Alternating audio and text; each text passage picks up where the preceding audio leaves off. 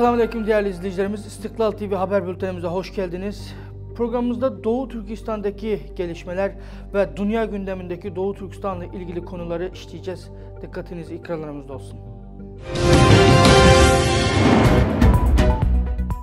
Çin, dil ve yazı politikalarıyla soykırımı güçlendiriyor. Geçtiğimiz hafta Doğu Türkistan'da düzenlenen 2024 Okuma Yazma Çalışma Konferansı'nda Mandarin Çince öğreniminin güçlendirilmesine vurgu yapılmasının yanı sıra Çin ulusal ortak bilincinin pekiştirilmesi ve sözde Şinjan'ı Çin kültür yoluyla besleme politikalarıyla entegrasyon çalışmaları hakkındaki söylemler dikkat çekti. İstiklal TV ekibinin mercek altına aldığı Çin halk ağına göre 14 Mayıs 2024 tarihinde sözde Şinjan Uygur Özel Bölgesi Okuma ve Yazma Konferansı düzenlenmiş olup 2023 yılının çalışmaları özetlenerek bu yıla ait temel görevlerin paylaşımıyla ilgili özel toplantı gerçekleştirildi. Toplantıda sözde Şinjan Uygur Özel Bölgesi Parti Komitesi Daimi Komite Üyesi, Propaganda Dairesi Başkanı ve Eğitim Çalışmaları Komitesi Sekreteri Wang Jianxin, merkezi yönetimin düzenlemeleriyle ilgili konuşma yaptı.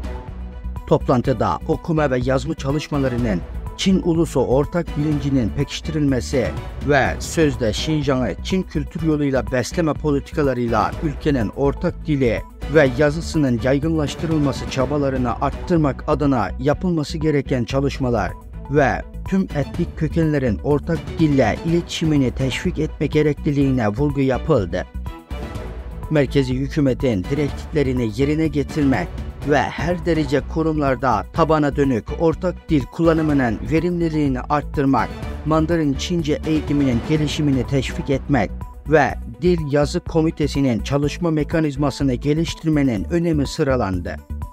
Toplantıya Ürümçi şehri, Kaşgar vilayeti, Sözde Şinjan Üniversitesi ve Şinjan Pedagoji Üniversitesi'nden yetkililer ve akademisyenler katıldı. Ancak toplantıda bölgenin ana unsuru olan Uygurların ana dili ve Uygur Türkçesi ile ilgili herhangi bir içeriğe değinilmedi. İşgalci Çin rejimi son 10 yıldır Doğu Türkistan'ı ve Uygur varlığını Çinileştirmek için toplama kamplarına paralel olarak şehir şehir anaokulu tarzı çocuk kampları inşa etmeyi başlamıştı. Uygur çocukları, gençleri özellikle de kentsel alanlarda terk edilmiş hükümet binalarında, kapatılan camilerde alıkoyarak siyasi terbiye, ideolojik asimilasyona tabi tutuyor. Gelinen noktada ise Türk ve İslam alemi başta uluslararası toplumun soykırıma sessiz kalması sonucu cesaretlenen Çin, imha politikasını meşru zeminde sürdürmeye devam ediyor. Uygur halkını mankurtlaştırmaya yönelik bütün bu emellerini melekler yuvası gibi süslü isimlerle adlandırarak uluslararası toplumdan gizlemeye çalışıyor. Oysa Uygur Türklerinin ana dillerine konuşmalarını yasaklarken masum çocukları zorla ailelerinden kopararak bahsi konu merkezlerde ana dillerinden ve ulusal kimliklerinden, aile terbiyelerinden uzaklaştırarak tek tip Çinli birey yaratmaya çalışıyor. Pekin hükümeti 2010 yılından itibaren Doğu Türkistan'daki Uygurlar başta Türk etnik gruplarını Çin kültürünü benimsemeye zorlayan sözde Şinjan'ı Çin kültür yoluyla besleme planını yürürlüğe koymuştu. Bu bağlamda halkın milli ve kültürel değerlerini yok ederek Çin ulusal ortak bilinci kisvesi altında Uygur kimliğini, dilini ve yazısını, dini inancını bastırdı. Diğer yandan 2023 yılında Doğu Türkistan'da sözde Çin ortak dili tanıtım haftası başlatarak Doğu Türkistan'ın çeşitli yerlerinde propaganda ve danışma platformları kurdu. Bu merkezler vasıtasıyla halka Çin klasiklerini okuma faaliyetleri düzenledi. Bu sayede köylerdeki çiftçi, çobanlar dahil zorunlu kurslara alınarak Çince ortak dilini öğrenme ve sosyal yaşamda kullanma zorunluluğu getirildi. Konuyla ilgili raporlara göre ebeveynleri esir kamplarında alıkonulan 800 binden fazla Uygur çocuğuna ek olarak milyonlarca Uygur genci Çin dili, Çin kültürü ve Çin klasikleriyle yetiştiriliyor. Üstelik hükümetin güzel isimlerle süslediği yatılı anaokullarda komünizm ideolojileri dayatılıyor.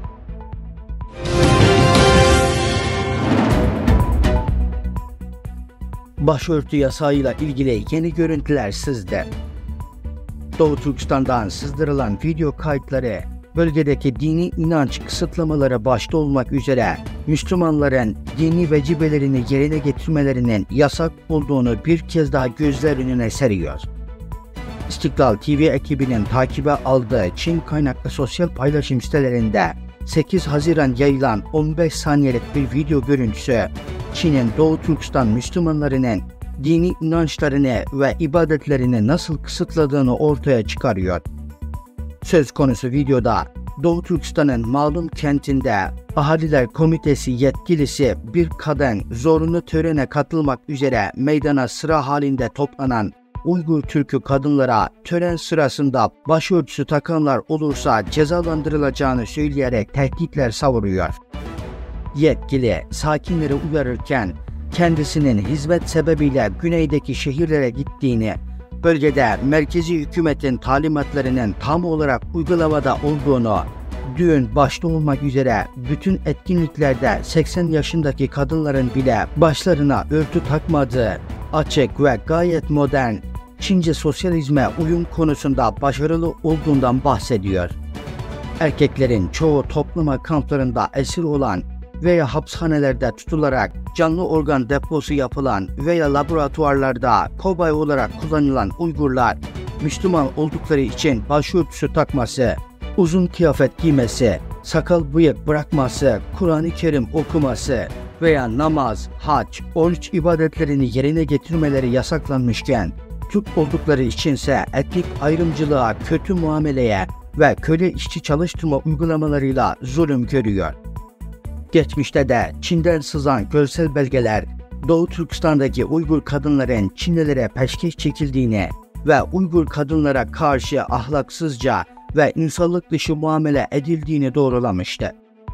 ABD Dışişleri Bakanlığı'na bağlı Şare Amerika internet sitesinin 19 Şubat 2019 tarihinde yayınladığı raporda Çin'in Uygurları toplama kamplarına kapatma gerekçeleri sıralanırken ilk başta sakal ve bıyık bırakmak, okul ve sosyal yaşamda ana dilini konuşmak, sigara ve alkolü reddetmek, evinde Kur'an-ı Kerim ve seccade, Arapça yazılı kitaplar bulundurmak, WhatsApp ve yabancı uygulamalar kullanmak, yerel yetkililerden şikayet etmek ve emre itaatsizlik, yurt dışına seyahat etmek, yakınlarını dini usullere göre defne etmek, oruç tutmak ve namaz kılmak başta olmak üzere sözde dini aşırıcılığın 75 belirtisi adı altında Müslüman halka zulmediliyor.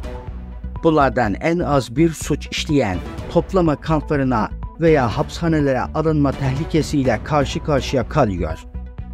Ayrıca bölgedeki bu katı siyaset sürerken Çin rejimi ise uluslararası toplumun gözünü boyamak için bazı ülkelerden özenle seçtiği yetkilileri, gazetecileri ve diplomatları Doğu Türkistan'a davet ederek önceden kurgulanmış yerleri ziyaret ettirip Uygurlar mutlu imajı yaratmaya çalışıyor. Efendim bültenimizi burada noktalıyoruz. Yarın yine aynı saatte görüşmek dileğiyle. Hoşçakalın.